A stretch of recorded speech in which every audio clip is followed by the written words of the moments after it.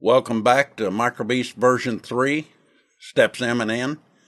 We're going to set the aileron elevator gyro direction and the pirouette optimization direction. Now go ahead and boot up your MicroBeast. Hold down the button for a couple seconds till you get the solid light. Step into step M.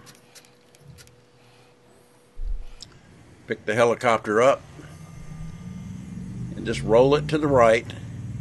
And as you do, the swash plate should tilt to the left or try to stay level. This is the behavior we want to see.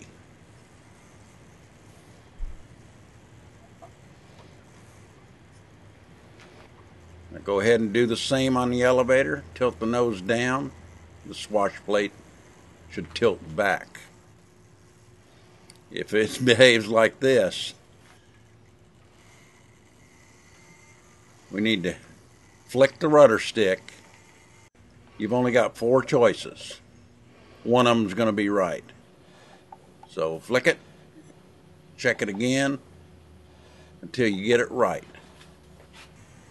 And then double check it. This is very important. Go ahead, press the button, and we'll go to step N, setting the pirouette optimization direction. When we enter step N, one side of the swash plate kicks up. We want to keep our eye on the high side of the swash plate and rotate the helicopter. As we rotate it, we should still be looking at the high side of the swash plate. If not, flick the rudder stick and then double check. This is what it should look like.